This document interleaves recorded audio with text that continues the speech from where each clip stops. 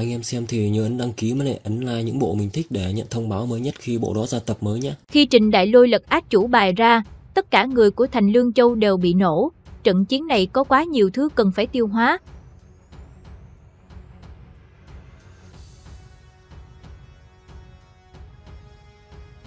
Thì ra đánh trận còn có thể đánh như vậy, thì ra thuốc nổ còn có thể dùng như vậy. Nếu như cho ta thêm thời gian tìm kiếm rõ chế tạo của loại vũ khí này, luyện ra được một đội binh mạnh như vậy. Có được một nhánh quân đội mạnh như vậy nói không chừng mình có thể làm được chuyện mà mình muốn làm.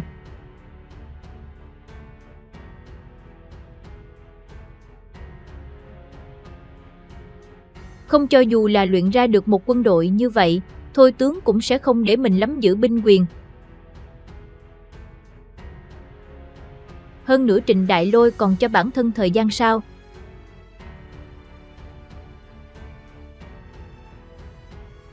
Hắn liên tục tấn công hai thành, chính là muốn đánh nhanh thắng nhanh. Không có thời gian mặt trời sắp xuống núi rồi. Hay là nói mình của thời đại cũ sắp phải hạ màn rồi.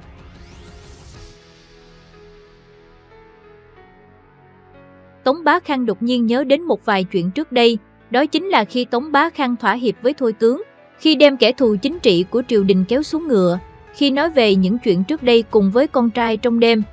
Cha đế quốc quá già rồi.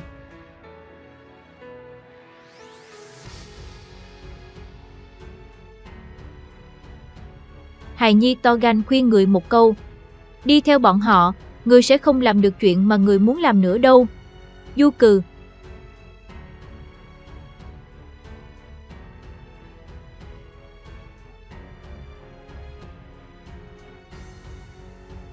Môi trường ở trên quan trường chính là như vậy. Nếu cha muốn sống tiếp ở trên quan trường, cũng chỉ có thể đi thích ứng. Có lẽ đợi đến khi cha ở vị trí nhân thần, trong tay nắm giữ binh mà đại quyền, cha mới có thể đi làm chuyện bản thân muốn làm. Trước đó, thỏa hiệp, thông đồng làm bậy, trao đổi lợi ích trên quan trường. Hài, quá phức tạp. Du cừ, con còn quá trẻ, chuyện của triều đình con phải trưởng thành mới có thể hiểu được. Cha, Tương lai của đế quốc có lẽ là người tràn đầy sức sống, có thể là thuộc về người trẻ. Du cừ Thời đại của người trẻ gần như là một ngọn lửa chói mắt.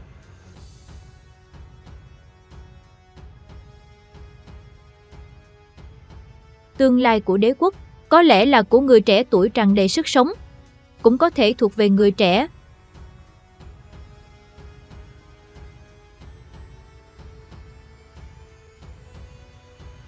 chỉ có không thuộc về thời đại cũ còn sót lại.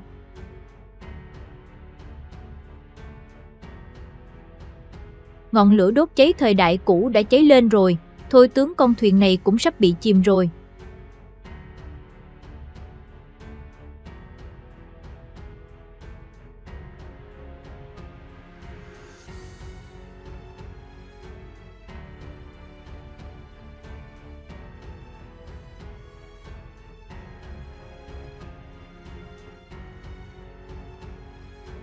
Vài ngày sau thành Sóc Phương.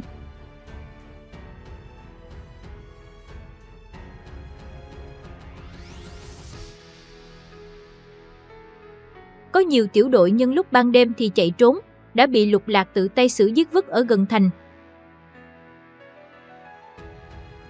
Giết Đã xác định không có quân cứu viện, trận chiến ngày hôm nay chỉ là công kích có mang tính thăm dò,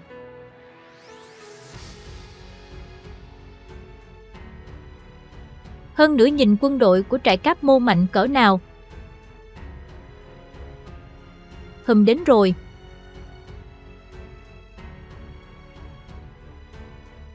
Giết giết giết. Đội cung tên tiến lên phía trước.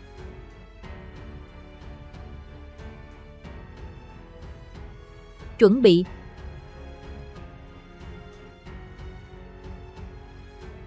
phóng. Giết giết.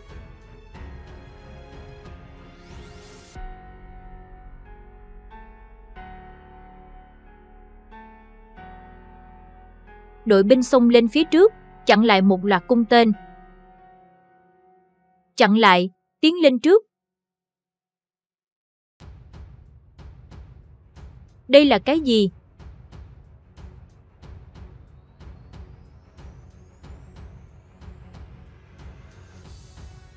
Duy trì trận hình. Không quản nữa, ta muốn chạy trốn ra ngoài thành, ta không muốn đánh nữa.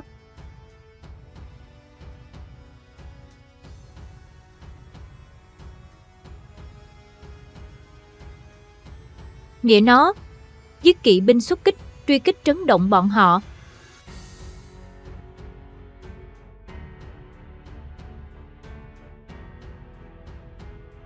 Tách bọn họ ra, kẻ nào đầu hàng miễn tội chết.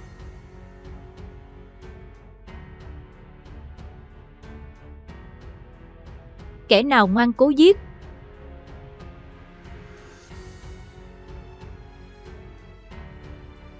Tha mạng, đầu hàng. Ta đầu hàng rồi.